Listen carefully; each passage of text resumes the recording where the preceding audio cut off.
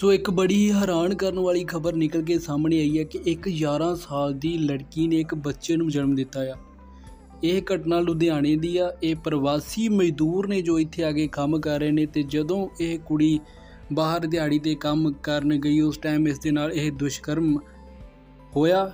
ਇਸ ਦੀ ਜਾਣਕਾਰੀ ਕੁੜੀ ਦੇ ਪਰਿਵਾਰ ਵੱਲੋਂ ਦਿੱਤੀ ਗਈ। ਸੁਣੋ ਕੀ ਕਿਹਾ ਉਹਨਾਂ ਨੇ। ਜਿਸ ਦੀ ਉਮਰ 11 ਸਾਲ ਹੈ ਇਹ ਮੇਰੀ ਮਾਂ ਹੈ इन्होंने सरकारी हॉस्पिटल में अपने बच्चे को जन्म दिया। ये है बेटा। सर ये कल बच्चे को जन्म दिए दस बजे। ये लोग खेत में काम करने चले जाते हैं।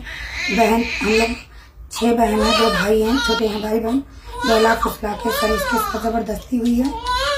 माँ बाप काम पे चले जाते थे लड़का आ जाता था।